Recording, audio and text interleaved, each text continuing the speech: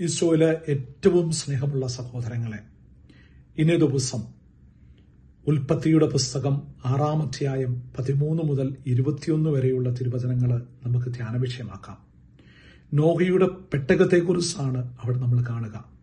പിതാവായ ദൈവം നോഹയോട് പറയുന്നു നോഹെ നീ എനിക്ക് വേണ്ടി ഒരു പെട്ടകമുണ്ടാക്കണം കാരണം ഈ ലോകത്തിലെ എല്ലാ ജീവജാലങ്ങളെയും ഞാൻ നശിപ്പിക്കാനായിട്ട് പോകുന്നു. പെട്ടകത്തിന്റെ വലിപ്പം വീതി നീളം ജനൽ വെക്കേണ്ട സ്ഥലം അതിന്റെ വാതിൽ വെക്കേണ്ട സ്ഥലം എല്ലാം നോഗയ്ക്ക് പിതാവായ ദൈവം പറഞ്ഞു കൊടുക്കുകയാണ്. അതിനുശേഷം നോഹയോട് ദൈവം പറയുന്നു കുറേ നാളത്തേക്ക് അവർ ആ പെട്ടകത്തിനുള്ളിൽ കഴിയണം. അതുകൊണ്ട് അവർക്ക് ആവശ്യമായുള്ള ആഹാര പദാർത്ഥങ്ങളും നീ കരുതി വെക്കണമെന്ന് പറയുകയാണ്.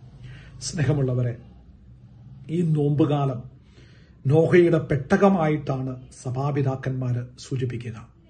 ഈ നോമ്പ് കാലത്ത് പ്രാർത്ഥന പരിത്യാഗം പ്രാചിത്വ പ്രവർത്തികളിലൂടെ കഴിയുന്നവരെല്ലാം നോഹയുടെ പെട്ടകത്തിൽ കഴിയുന്നവരാണിട്ടാണ് ഉപമിക്കുക.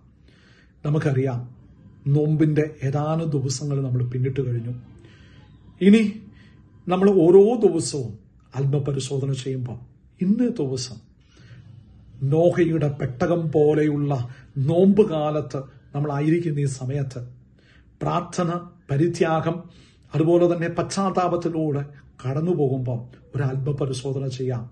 ഇതിന് തടസ്സമായിട്ട് നിൽക്കുന്ന ഏതെങ്കിലും തരത്തിലുള്ള പൈശാചികത ഏകദിനം തരത്തിലുള്ള ഭൗതികത ഏകദൻ ഏതെങ്കിലും തരത്തിലുള്ള അകാരപ്രാന്ത് വസ്ത്രപ്രാന്ത് ഏതെങ്കിലും തരത്തിലുള്ള അസ്വസ്ഥതകൾ എന്നിലുണ്ടെങ്കിൽ അതൊക്കെ ഒന്ന് മാറ്റിത്തരണേ എന്ന് നമുക്ക് ആത്മാർത്ഥമായ ഈശോട് നമുക്ക് പ്രാർത്ഥിക്കാം.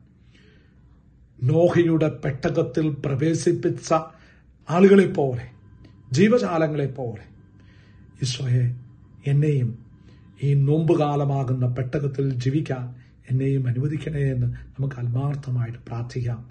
അതിനുള്ള തടസ്സങ്ങൾ മാറിപ്പോകാൻ ഈ നോമ്പുകാലത്ത് നമുക്ക് ഇന്നേ ദിവസം പ്രാർത്ഥിച്ചൊരുങ്ങാം. हिस्सों में सिखाई के स्टडी आ रही के